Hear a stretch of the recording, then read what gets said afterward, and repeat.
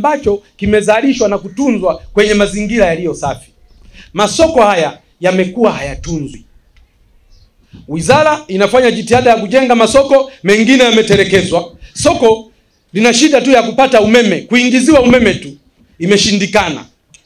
Soko lina shida tu ya kuwekewa cold room, imeshindikana. Soko limeharibika, mlango tu hautengenezwi. Soko halina mifereji ya maji machafu, hautengenezwi. Lakini ushuru hawaachi hata siku moja, hawana likizo wala hawana Jumapili wala Jumamosi, hawana likizo, hawana Jumamosi wala Jumapili. Siku zote wanatoza ushuru, hakuna likizo. La kwamba jamani, leo Jumapili basi tunatoa ofa, leo Ijumaa jamani tunatoa ofa, hakuna. Lakini hukuti kitu kimetengenezwa, mapato yanakusanywa kwa mapato. Nilikuja hapa nikakuta hili soko wanakusanya milioni mia moja wanakusanya milioni mia moja kwa mwezi, na zote zinatumika. Watu wanapata hela ya kulipana posho, wanalipana hela mpaka ya kulipa ya kulipa eh, mafao ya, ya, ya, ya, ya wajumbe wa bodi, lakini fedha ya kukarabati hata choo ambacho kinatumika na wananchi wanaotoa huduma pale, fedha hizo hazipo. Fedha za kujenga vyoo kwa ajili ya matumizi ya wananchi walioko hapo hazipo hizo fedha. Milioni mia moja inatumika kwa siku, kwa mwezi. Nikasema hapana, hizi fedha lazima zitumike. Sijakagua vizuri mambo yao, lakini walau nasema wametoka kwenye milioni mia moja wamekuja kwenye milioni sabini na tano japo nayo hii bado ni kubwa, inastahili kupunguzwa tena ili tuweze kusevu fedha nyingi kwa ajili ya kuendeleza miundombinu hapa. Soko la hapa la Feri kwa makusanyo ya fedha inayopata lingekuwa na usimamizi makini, lingekuwa na watu wenye dhamira ya kweli ya kuhakikisha kwamba hili soko liwe soko bora linalotoa huduma safi kwa wananchi, mapato yake yalikuwa yanatosha sana kuliendeleza. Sasa nimepita, nimeenda Kilwa, soko limejengwa leo miaka sita.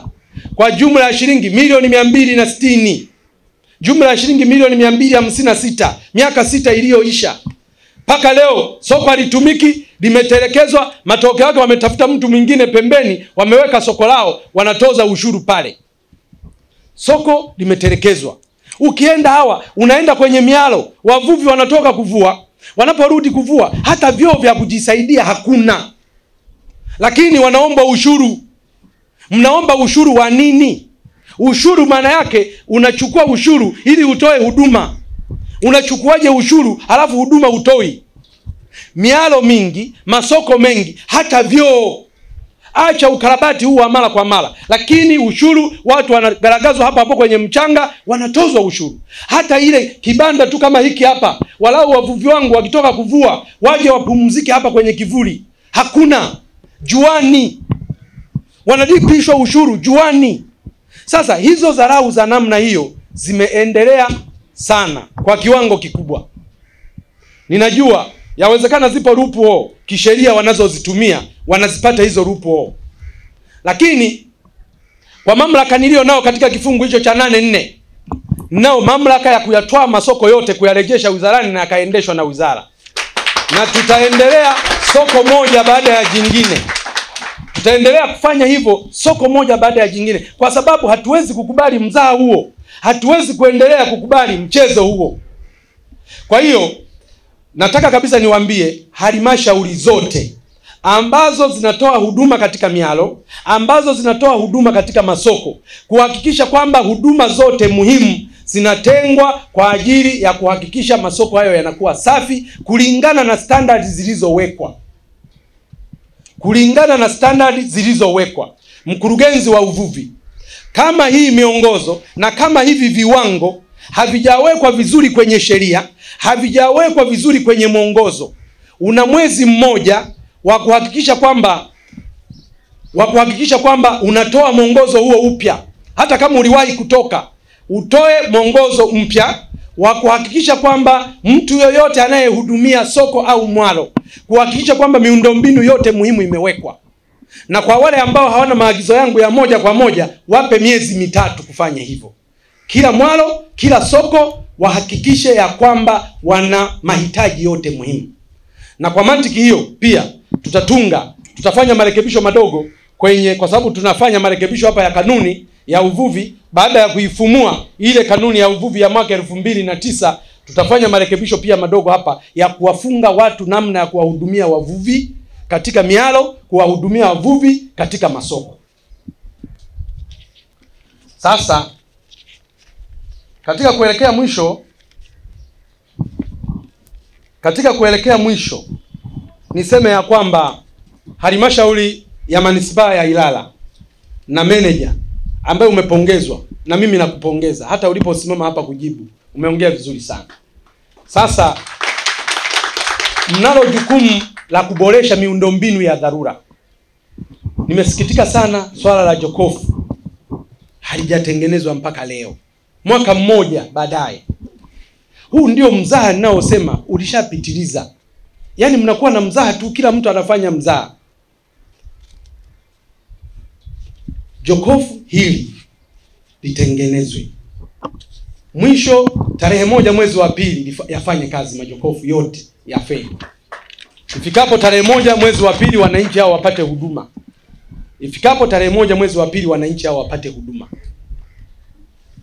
Lingine lingine ni kwamba niliahidi kwamba tutafanya ukarabati mkubwa wa soko la feri.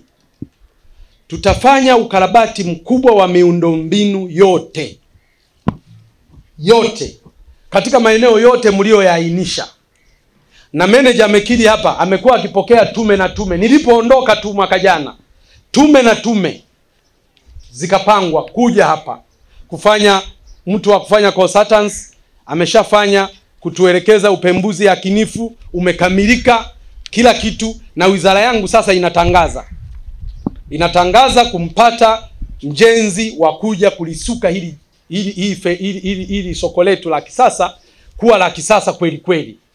Tunataka watu wakija waje waone kweli hili ni soko la kisasa, soko la kimataifa la feri, na fedha hizo tayari tumeshazitenga na zipo tayari. Hata kama atamaliza leo, mjenzi analipwa siku hiyo hiyo. Hata kama leo hii tungemkuta amemaliza kufanya ukarabati, tungemlipa. Fedha tunazo, tumeshatangaza na tunategemea kwamba muda mfupi mjenzi atapatikana na ujenzi utaanza mara moja.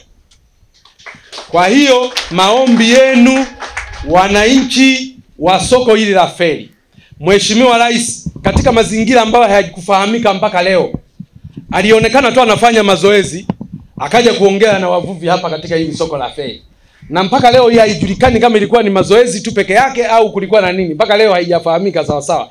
Lakini Mheshimiwa Rais alionekana akitroti, akaja kuongea na wavuvi hapa, akaja kuongea na watumiaji wa feri hapa, akitokea mchangani akifanya mazoezi, na aliombwa maombi mbalimbali mbali na wananchi wa hapa.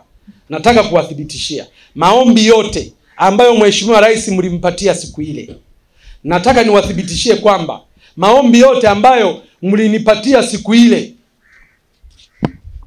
yote yatatekelezwa. Miundombinu yote mlioiomba ikarabatiwe, miundombinu yote mlioiomba ikarabatiwe, yote itakarabatiwa. Tunayo changamoto moja tu kwamba ukianza mara moja kwa kila kipengele, inabidi shughuli zisimame. Hatutaki tusimamishe shughuli za wananchi. Ukarabati huu wa miundombinu utakaoendelea utaenda awamu kwa awamu, kipengele kwa kipengele, kwa sababu mafundi hawatashika kila sehemu kwa wakati mmoja, ili shughuli za uvuvi, shughuli za biashara zinazofanyika katika soko hili ziendelee. Kwa hiyo nataka niwahakikishie leo nimekuja kuzindua huo mpango wa ukarabati. Siku nyingine nitakayokuja nitakuja kukagua ukarabati, na siku nyingine nitakuja kuwakabidhi miundombinu yenu iliyojengwa, iliyokarabatiwa na kukabidhiwa kwenu.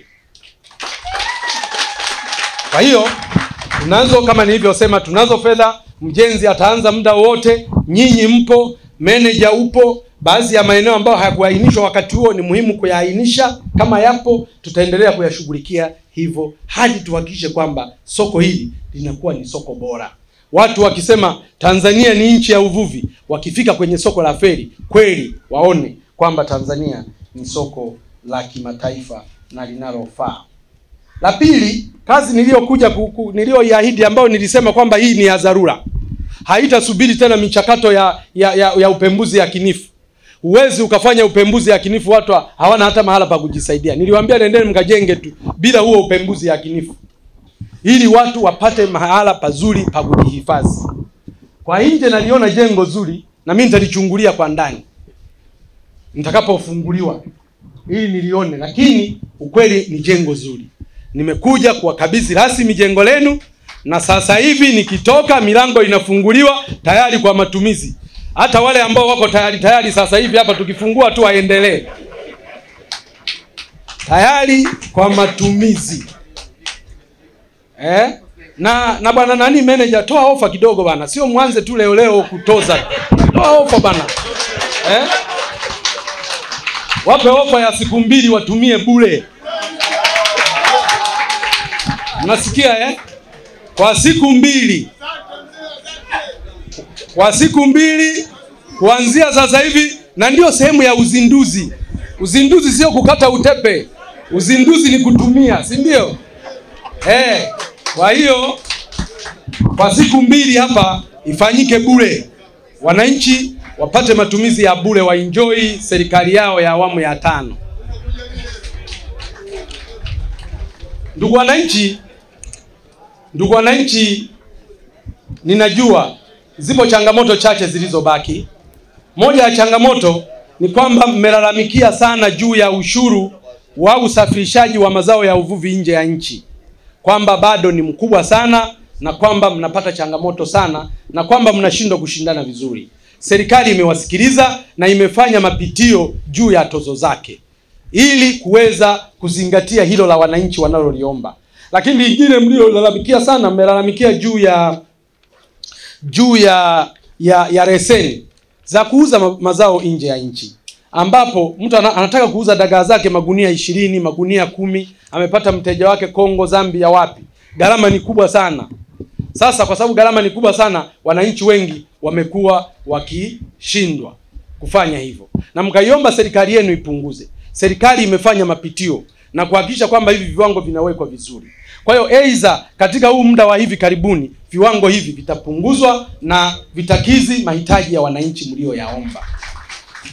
Ninachotaka niwahakikishie ndugu zangu kwamba serikali hii ya awamu ya tano haina mzaha kwa wananchi wake. Endeleeni kumuunga mkono kiongozi wenu Dr. John Pombe Joseph Magufuli ambako kila eneo amegusa. Wewe kupata kupata muda Mheshimiwa Rais kuja tu kwenye soko moja hapa ni mara chache sana kwa kazi walizonazo. Ukiangalia ratiba yake kwa siku na shughuli zake kwa siku kwa nchi nzima. Mimi hapa ni waziri wa mifugo na uvuvi, wizara moja, silali nikapata usingizi. Watendaji wangu wote hawalali wakapata usingizi. Je, yeye ambaye wizara na taasisi zote ziko kwake, hali ikoje? Lakini ana mtu kufika mpaka pale. Yote ile ni uthibitisho wake wa utendaji wake ulio na dhamira ya kweli kwa wananchi wake. Lakini lingine hivyo, mliwahi kuona waziri anakuja mara nne mara tano kabla ya enzi za Dr. John Pombe Joseph Magufuli? Hakuna.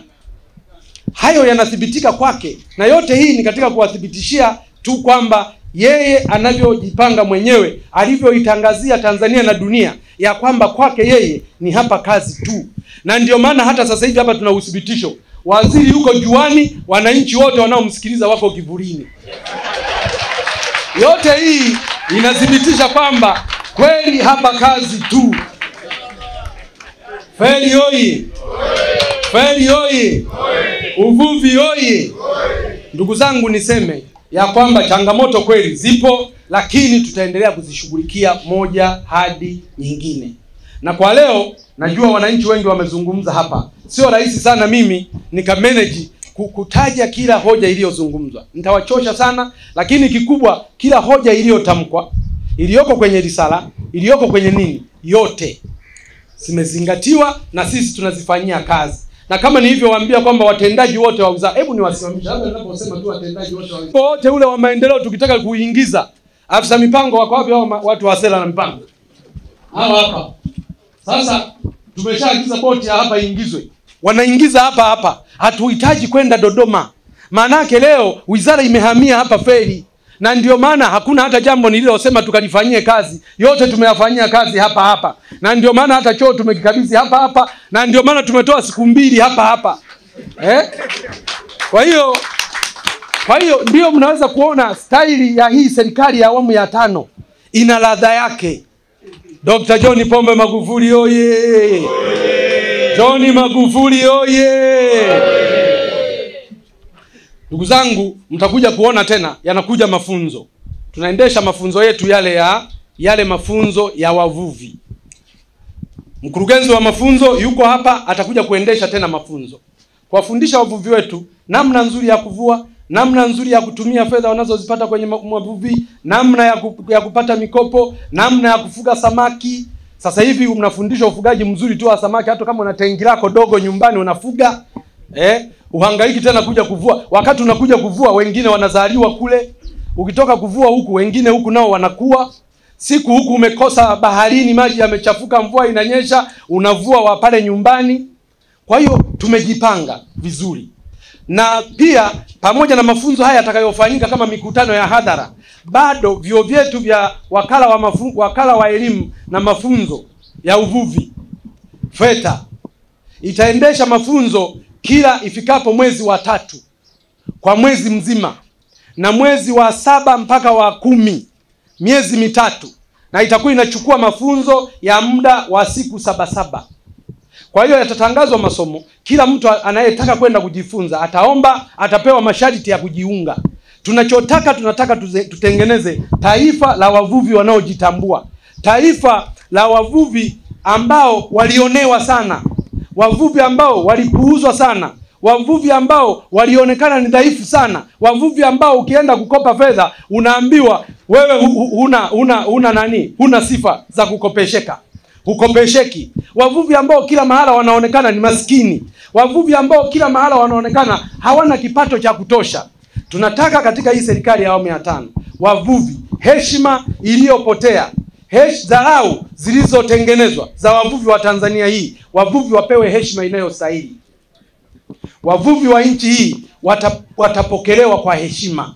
Baada ya dharau ya miaka mingi, maisha ya wavuvi tunaenda kuyabadilisha. Tunataka wavuvi, wafanyabiashara wanaofanya sekta hii ya uvuvi, wanaofanya biashara katika haya mazao ya uvuvi, waweze kunufaika na shughuli wanazozifanya.